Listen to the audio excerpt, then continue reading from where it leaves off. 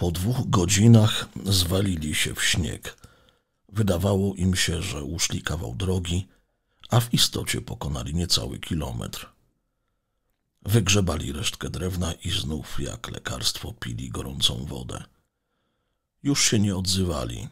Byli poodmrażani, palce rąk i nóg mieli pozbawione czucia. A jednak znów wstali i objąwszy się, podtrzymując się nawzajem, zaczęli drobić w miejscu. Ale wydawało im się, że idą. I czekali, że lada moment rozstąpią się chmury i nad głowami ukaże się granatowe niebo. Dick widział, jak kuter zniża się nad stacją. W pierwszej chwili ogarnęła go radość, jednak wrócili. Jednak zaraz potem przypomniał sobie, że musi się na nich zemścić, że musi ich zabić, bo winni są śmierci Kazika i tego, że Marianna umiera. Mogli ich uratować, mogli zrobić wszystko, ale nie chcieli. Nigdy przedtem nie przychodziło mu do głowy, że można zabić człowieka. Ludzi na świecie jest bardzo mało. Ludzie pomagają sobie nawzajem. Bez tego ludzie giną, bo las jest silniejszy od każdego z ludzi. Ale ci tutaj nie mogą być ludźmi. Jeśli wszyscy jesteście tacy, to nie chcemy waszej ziemi, waszych białych prześcieradeł i gładkich stołów.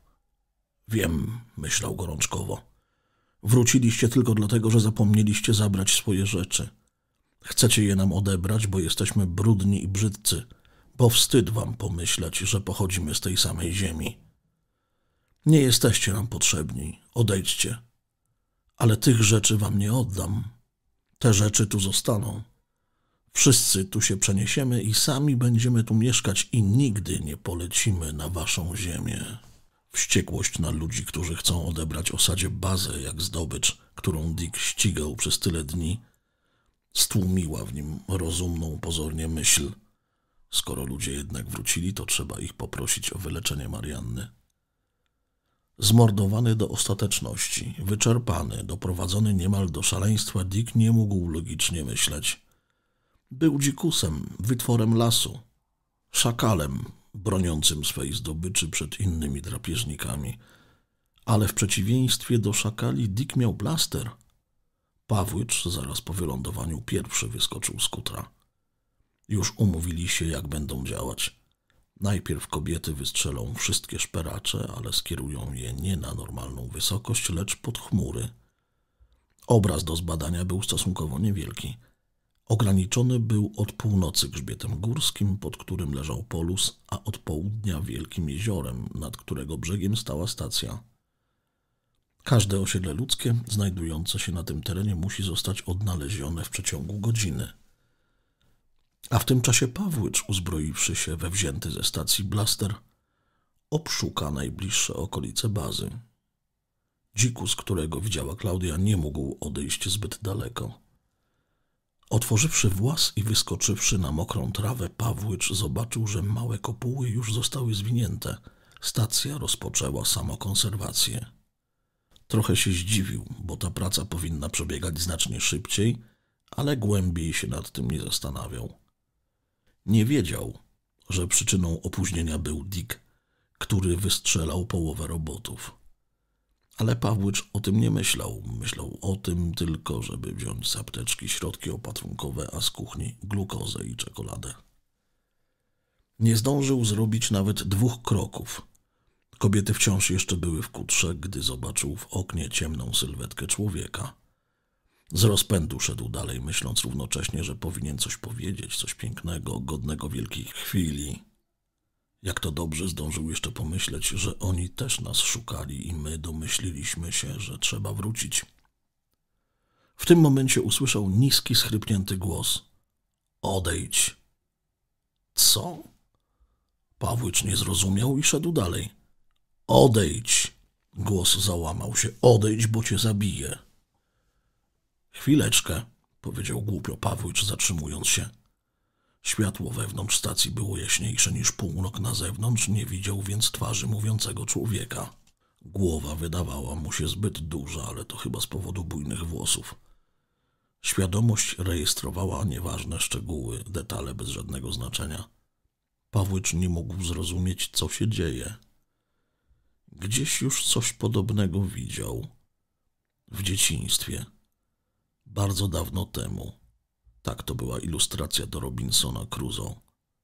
Włosy do pasa, odzież ze skór zwierzęcych. Dobrze jeszcze, że nie oduczyli się mówić. Odejdź, powtarzał Dick jak nakręcony. Odejdź! Ponieważ sam mówił i odpowiadano mu, nie potrafił strzelić. Widział tego człowieka. Był wysoki, wyższy niż stary, skafandrze. Dick wiedział, co to jest skafander.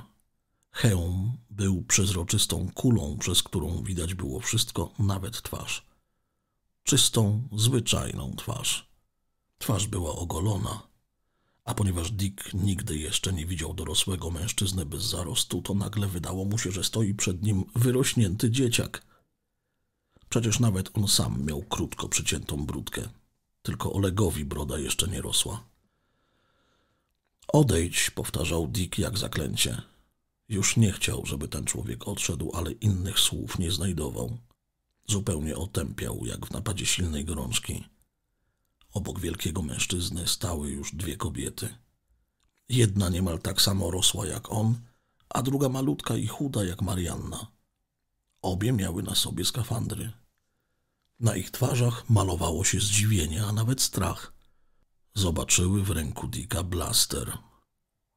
Nie trzeba, krzyknęła nagle malutka kobieta. To ja jestem wszystkiemu winna. Nie zrozumiałam. Kiedy tu przybiegliście, przestraszyłam się i niczego nie zrozumiałam. Szybkim krokiem ruszyła do stacji. Mężczyzna chciał ją powstrzymać, ale malutka kobieta wyrwała mu się. Stawiała drobne, szybkie kroczki, jakby była chora. I wówczas Dick upuścił blaster na podłogę i cofnął się pod ścianę, gdzie na kanapie leżał martwy Kazik. Stał, opuściwszy wzdłuż ciała swoje silne ręce i czekał, co będzie dalej. Teraz już o niczym nie decydował i o nic nie musiał się martwić. Klaudia błyskawicznymi ruchami wystukała kot otwierający drzwi wejściowe, zrzuciła hełm i rozpięła skafander. Mimo osłabienia jej ręce poruszały się precyzyjnie. Sytuacja, w której się znalazła, mimo całej swej niezwykłości, stała się dla niej paragrafem instrukcji określającym postępowanie w wypadku, gdy jakiś człowiek znajdzie się w niebezpieczeństwie i wymaga natychmiastowej pomocy.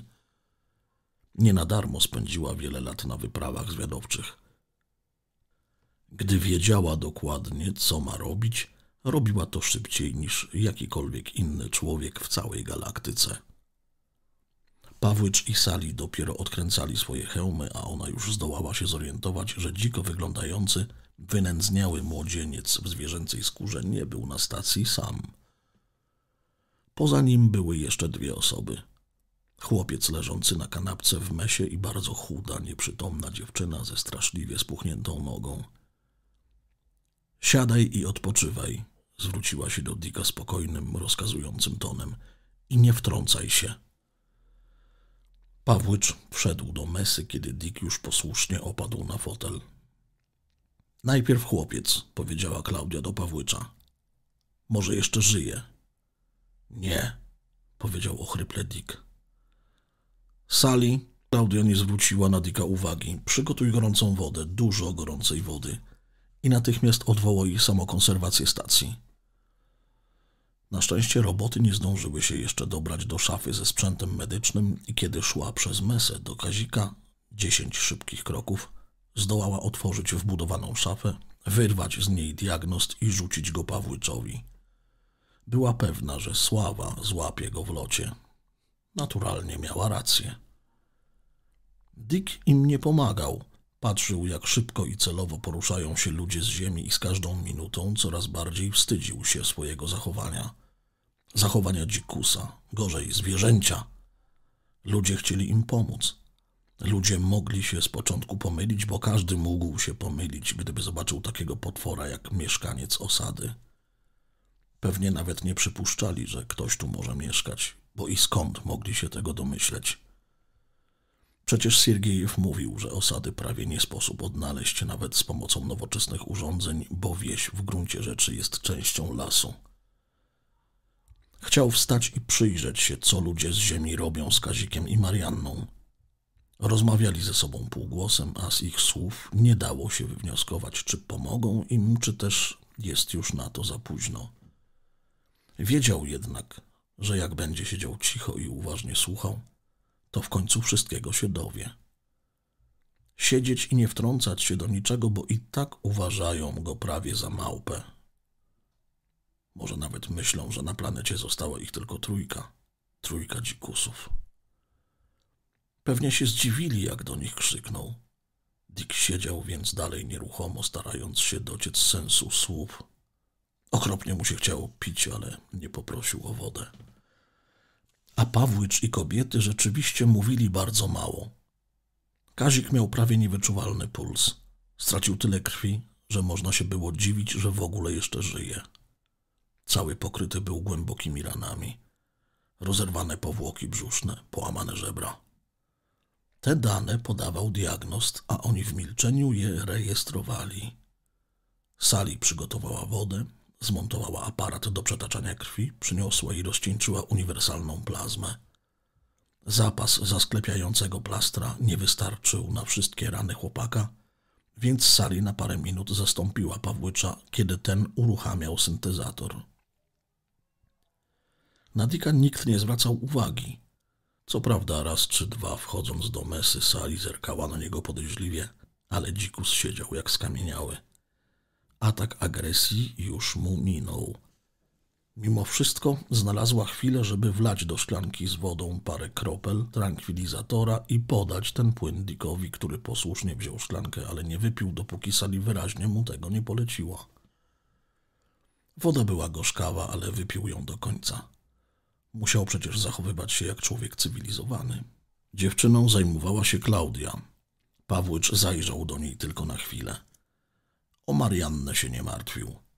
Przypadek wprawdzie był ciężki, ale wiedział, że wyciągnie ją z niego w ciągu paru godzin. Zakażenie krwi, skrajne wyczerpanie i nic więcej. Przykre, ale dość banalne. Mariannę rozebrano, a Klaudia przetarła ją wilgotną gąbką. Ciało dziewczyny było tak wychudzone, tak brudne i tak gęsto pokryte bliznami i zadrapaniami, że trudno było określić jej wiek. Mogła mieć piętnaście lat, ale z równym powodzeniem znacznie więcej. Kiedy zwolnił się aparat do transfuzji, Sali przeniosła go do sypialni i oddała Klaudii, która już wcześniej przygotowała i wstrzyknęła Mariannie roztwór odżywczy. Wszystko byłoby o wiele prostsze, gdyby na stacji były dwa reanimatory, ale aparat był tylko jeden i potrzebny był chłopcu. Już omotał go czujnikami i wprowadził do głównych naczyń krwionośnych swoje odżywcze macki, po czym wkłuł się do klatki sercowej i zaczął podtrzymywać akcję serca. Pawłycz martwił się, czy nie nastąpiły zmiany w mózgu, bo chłopiec był już w stanie śmierci klinicznej, dlatego nieustannie kontrolował pracę układu nerwowego. Dick usłyszał, jak mężczyzna i rosła kobieta rozmawiają w drugim pokoju, koło Marianny – Mówili bardzo cicho i sądzili, że ich nie słyszy. Nie wiedzieli, że Dick jest myśliwym i ma słuch trzykrotnie czulszy niż oni. Z początku były to zdania pełne medycznych słów. Dick wiedział, że to są medyczne słowa. Z samego tonu zorientował się, że Mariannę wyleczą, ale w ich głosach dźwięczał niepokój, kiedy zaczynali mówić o Kaziku. Ku swemu zdumieniu i przesadnej, nieśmiałej radości – Dick zrozumiał, że Kazik nie jest martwy. A może ci ludzie potrafią ożywiać zmarłych? Dick o niczym takim od starego nie słyszał. Mówiły o tym tylko bajki, które kiedyś opowiadała mu matka. Trzeba go nakarmić, powiedziała cicho duża kobieta w sąsiednim pokoju. Malutka kobietka gdzieś wyszła. Dick zrozumiał, że mówią o nim. A nie ugryzie? Jeszcze ciszej, z uśmiechem w głosie zapytał mężczyzna, którego między sobą nazywali Sławą. Kłopoty dopiero się zaczynają, odparła kobieta. Fenomen Maugliego? Dick zdziwił się, że wiedzą o Mauglim, ale teraz domyślił się, że mają na myśli innego Maugliego, który żył w lesie i którego wychowywały wilki. Nie wiedział tylko, o jaki fenomen chodzi. Jednak dźwięk znajomego imienia tak go zaskoczył, że zapomniał się na mężczyznę obrazić. Ciekawe, czy on kiedyś widział talerz, powiedziała kobieta. Widział, omal nie odpowiedział Dick. Łyżkę też. Też nie mądrze. Ale przecież on bardzo wyraźnie mówi, powiedział mężczyzna, a przeżyli tu dwadzieścia lat. To jakaś nieprawdopodobna tajemnica, powiedziała rosła kobieta. Ilu ich tu jest? Jak bytują? Gdzie? Jak zdołali zachować ludzką postać, czy chociażby odzież? Balon, powiedział mężczyzna. I porozbijany magazyn, sława, odezwała się głośniej kobieta. Ona przytomnieje. Dick, usłyszał Dick słaby głos Marianny. Dick. Wyskoczył z fotela jak z procy, zapominając o swojej dumie i o tym, że trzeba milczeć. Wbiegł do pokoju. Marianna leżała na łóżku. Okazało się, że rozebrali ją i przykryli. Marianna, powiedział, pochylając się nad nią. Jak się czujesz? Dobrze, Marianna otworzyła oczy. Kazik żyje? Jej wzrok zatrzymał się przez moment na twarzy Dika. Prześlizgnął się po Pawłyczu i znieruchomiał na widok uśmiechu sali. Dziękuję, powiedziała. Tak się baliśmy, że was nie odnajdziemy. Dziecko, powiedziała Sali i nagle się rozpłakała. Biedne dziecko. Twój Kazik będzie żył, obiecuję. Wszystko będzie dobrze, naprawdę. W drzwiach stanęła Klaudia. Milczała. Dick wam opowiedział? zapytała Marianna. Nie, powiedział Dick. Nie było kiedy, a zresztą oni nie pytali. Zaszło pewne nieporozumienie, wyjaśnił Pawłycz. Ale to już było ostatnie. Macie statek, żeby polecieć do osady? zapytała Marianna. Nasi tak na was czekają.